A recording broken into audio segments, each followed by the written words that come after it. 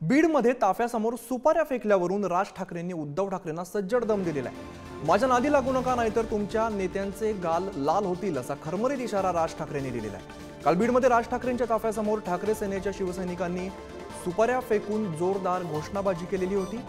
राज ठाकरेंनी विधानसभेला कुणाची सुपारी घेतली असा सवाल शिवसैनिकांनी उपस्थित केलेला होता. यावरून राज ठाकरे हे चांगले संतापलेले आहेत. दोन दृश्य आपण पाहतो एकीकडे राज ठाकरेंच्या ताफ्यासमोर सुपाऱ्या फेकण्यात आलेल्या आहेत. मोठ्या प्रमाणात घोषणाबाजी सुद्धा खरं तर यावेळेला करण्यात आली. राज ठाकरेंचा दौरा होता आणि या दरम्यानच शिवसैनिकांनी त्या ठिकाणी गोंधळ घातलेला होता. तर दुसरीकडे माझ्या नादी लागू नका असा सज्जड दम राज ठाकरेंनी दिलेला आहे.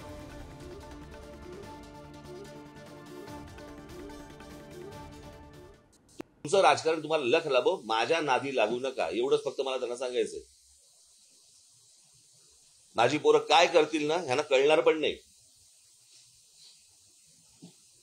नंतर घरी येऊन आरशापुढे पाठ बघावी लागेल. आणि पोट बघावे लागेल. आणि गाल पण बघावे लागतील.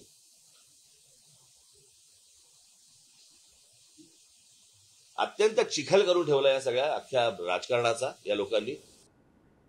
तर बीडमध्ये काल राज ठाकरेंच्या गाडीसमोर सुपाऱ्या फेकल्या. ठाकरेंच्या शिवसेनेकडून राज ठाकरेंच्या ताफ्यासमोर आंदोलन करत निषेध केलेला आहे. यावरूनच चांगलंच राजकारण तापलेलं दिसतं या प्रकरणी हे मराठा समाजाचं आंदोलन असून आमच्या पक्षाची भूमिका नाही असं संजय राऊत म्हणालेले आहेत. यावरून नितेश राणे संदीप देशपांडे आणि संजय शिरसाट यांनी राऊतांना लक्ष केलेलं आहे. पाहूया. आमच्या माहितीप्रमाणे ते आंदोलन मराठा कार्यकर्त्यांचं होतं. आरक्षणासंदर्भात कदाचित बीडला शिवसेनेची ताकद जास्त असेल.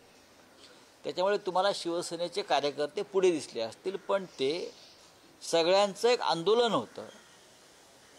आणि त्या आंदोलनाचा शिवसेनेचा पक्ष म्हणून संबंध नाही हे मी आता तुम्हाला इथे स्पष्ट करू इच्छितो. बीडमध्ये एका शिवसेने उभाटावाल्यांनी थांबवली.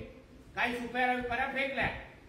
त्यानंतर मनसेच्या नेत्यांनी जो काही इशारा दिला ते तुमच्याही गाड्या फिरतील तुमचेही नेते दौरे काढतील. आणि त्यानंतर हातभर फाटल्यानंतर पॅन्ट पिवळी झाल्यानंतर हा संजय राजाराम राऊत आज सांगतो त्याची शिवसेनेची भूमिकाच नाही उसाली उभाट्याची भूमिकाच नाही. पहिले जी शिवसेना होती आणि जे शिवसैनिक होते ते स्वर्गीय हिंदू हृदय सम्राट बाळासाहेबांच्या या प्रेरणेने वागणारे शिवसैनिक होते किंवा ती शिवसेना होती. आत्ताची जी शिवसेना आहे ती इराण प्रणित हिजबुल्ला संघटनेच्या आधारावर आहे की काय अशी शंका येते. आणि आता हिजबुल्लाचा आदर्श घेतलेला दिसतोय आणि हिजबुल्लाचे प्रमुख दिसत आहेत राऊत. उभटा गटाचं आणि राज ठाकरे साहेबांचं हे आपसातलं असलेलं वैर हे उभटा गटाने व्यक्त केलेलं आहे. ना उभटा गटाला मराठा आरक्षणशी काही घेणं देणं आहे? ना इतर बाबीशी घेणं देणं आहे. परंतु राज ठाकरेंनी आमच्या इकडे येऊ नये म्हणून तर दा- दर्शवलेला विरोध आहे.